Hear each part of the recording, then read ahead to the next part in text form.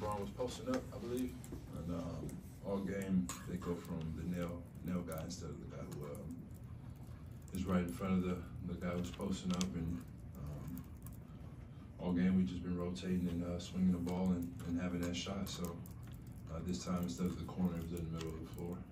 So I was just prepared for it and I, I let it go. Clearly, the team had been struggling. Clippers have been playing well. How how did it feel for you to be able to you know come through in the morning in that moment, knock it down, uh, and you know, help the team on the way to a win? Yeah, we have been struggling, but I think it's been in certain moments throughout the game that kind of put us back and um, have us fighting um, in scenarios where we would rather uh, be up or tied, and um, I think that's been the, the downfall for us. But being able to beat a team like that puts us in a um, good position mentally, and I think um, it's going to be great for us and, and the guys who came off the bench and played well to uh, carry that on to the next game.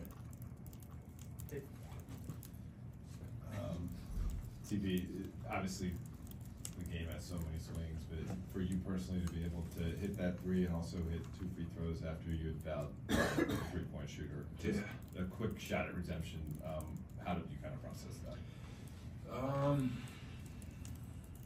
I'm grateful, really. Um, I knew when I made that big mistake, um, I was trying to get as close to him as possible without fouling him, just kind of take away the airspace and kind of make him feel me while he was shooting, and I just totally misjudged it. So um, I immediately told myself I wanted to get that play back, and the opportunity came, and um, I just took advantage of it.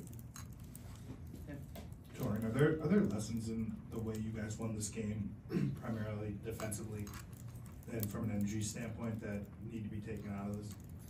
Um, yeah, I think good lessons. I guess you could say being able to um, see Austin Reaves guard um, certain guys and, and put his body on the line, and and um, that's a good thing to see. I think that also helps our defense and our mentality as a as an entire team, and to to have D'Lo back, that was good for us as well. Another ball handler, and um, it was just time for us to carry over this this good energy and try to rack up as many wins as we can. You're a guy in your career who the minutes haven't always been consistent. Um, when you look at Christian and what he's tried to do this year, from going from being a high volume scorer to sometime rotation player, sometime out of the rotation, um, to kind of stick with it and, and what he's given you guys his last three games, pushing forward, how important do you think that offense is going to be for this team?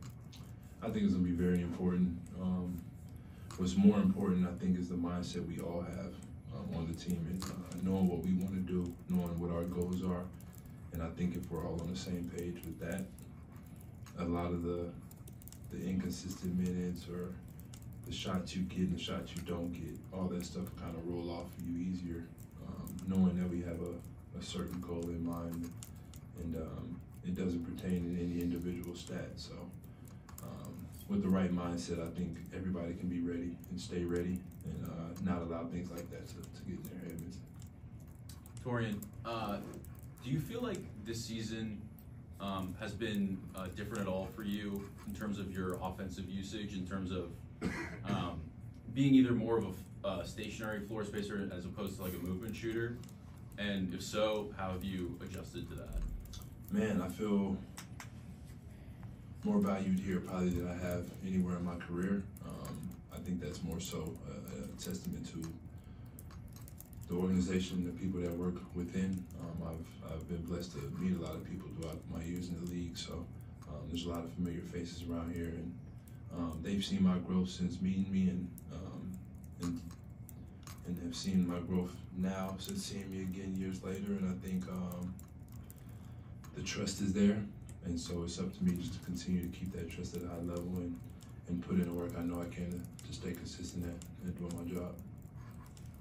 Um, T, first off, congrats on the win and uh, you know big free throws and big shot. But gotta ask you about the LeBron dunk. You had one of the best views of that dunk. Yeah. Did he shock you doing that? Like going through contact through uh, T Man and then to raise up from where he did and then the dunk. Everybody's reaction when you look back at it was kind of shocked. What was your thought process on that? Yeah, um, yeah. I mean, he was dribbling the ball for a very long time uh, with T Man riding his hip, and I don't know if you can hear it through the mic on the on the goal, but I told him to dunk. Well, I'm not gonna use my exact words, but I told him to dunk it before he dunked it. So to see it actually happen is pretty crazy. So, um, but that's Bron though. Um, he's a leader. He does things like that, and it's, it's our job to um, turn up our game and, and kind of follow his lead. Did y'all say something to, to him in the huddle or say something to him? Did he say, like, have a reaction, like, yo, I told y'all nothing? Nothing, no, no, reaction? no, that's that's just LB being LB. Um, Coach made a joke at the end of the game, said he still has some frequent flyer miles still. So um, I guess that's the only side joke we threw at him. Okay, bet.